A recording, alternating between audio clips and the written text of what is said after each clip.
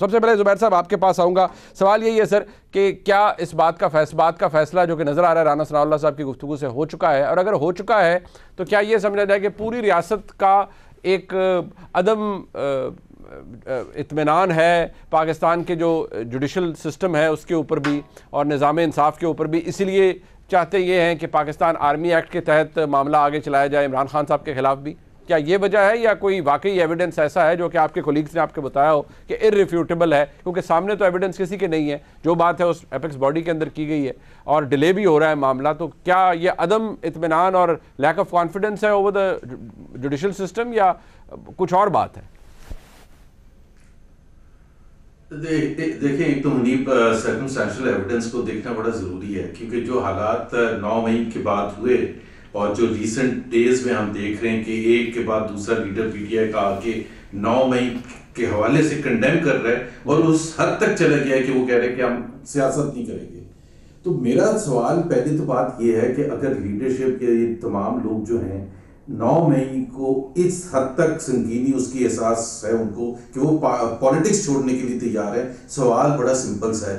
कि नौ मई को जब ये वाकयात हो रहे थे और पीटीआई स्पेशली जितनी सोशल मीडिया पर वो रहती है एक्टिव रहती है तो वो जब पाँच बजे कोर कमांडर के घर घुसे छह बजे आग लगनी शुरू हो गई सात बज गए हम्म। आठ बज गए आप उस दिन के इंटरव्यूज़ पीटीआई की टॉप लीडरशिप के जो उस वक्त बाहर थे उनके सुन लें। चाहे वो काशिफ अब्बासी का प्रोग्राम था या मैर बुखारी का प्रोग्राम दस बजे था। They were they were fine with it कोई रिमोर्स नहीं था। दस तारीख को सुबह को इस्लामाबाद हाईकोर्ट जब लाना था इमरान खान को तो उधर प्रेस कॉन्फ्रेंस आप निकाल के देख लें कोई remorse but but on the flip side sir ये जो जो आप फरमा रहे हैं सर एक सर आपने जो फरमाया आपने कहा इतना इसका इम्पैक्ट है नौ मई का फिर इसका मतलब ये है कि अगर नौ मई को उन्हें कोई रिमोर्स नहीं था कोई कोई गिला शिकवा नहीं था they were completely fine with it कि रियासत की अमलाक जल रही थी कोर कमांडर हाउस को आग लग चुकी थी। बट सवाल ये है कि फिर जो अब वो सियासत को छोड़ रहे हैं एक के बाद एक आता है शख्स और स्क्रिप्ट वही है जो वो पढ़ के चला जाता है और सियासत भी छोड़ देता है और पार्टी भी छोड़ देता है। तो क्या ये वो खुद कर रहे हैं एट देयर ओन या उनको एहसास हो गया कि जो हुआ है वो इतना बड़ा है कि अगर माफ़ी ना मांगी और सियासत ना छोड़ी या पार्टी से अलहदा ना हुए तो काम ख़राब है फिर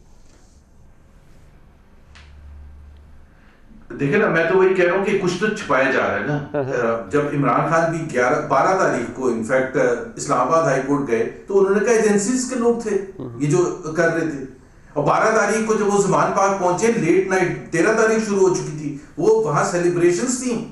वो किस चीज़ की सेलिब्रेट मतलब एहसास कब हुआ? वो जब जल, जल रहा था कोर कमांडर का घर जब जहाज़ चल रहा था मियाँ वाली का एयर बेस में जब दूसरे इमलाक पर जब जीएच के ऊपर अटैक हो रहा था रोशनी थी नौ तारीख को। हम्म, हम्म। मगरब भी नहीं हुई थी उस वक्त। उस वक्त अटैक हो रहा था। तो कोई कोई एक लीडर का बयान एक लीडर का कि ये जलाओ घेराओ ना करें। आप ये इमलाक को नुकसान ना पहुंचाएँ। कोई एक लीडर की ट्वीट या सोशल मीडिया पर अपील या वैसे कोई टीवी पर आके किसी ने की? नॉट इवन वन ठीक है। ज़ाहिर सी बात है हमें तो नहीं पता जब तक उसकी इन्वेस्टिगेशन अब वो कहाँ होनी चाहिए? I am not a legal expert और ना ही मैं पाकिस्तान के कानून के हवाले से कुछ कह सकता हूँ कि पाकिस्तान मैं मेरा पॉइंट सिर्फ़ ये कि पाकिस्तान के कानून फॉलो होने चाहिए और उसके एक इंच नहीं जाना चाहिए। जो हक किसी को भी डिफेंड करने का है वो उनको भी होना चाहिए।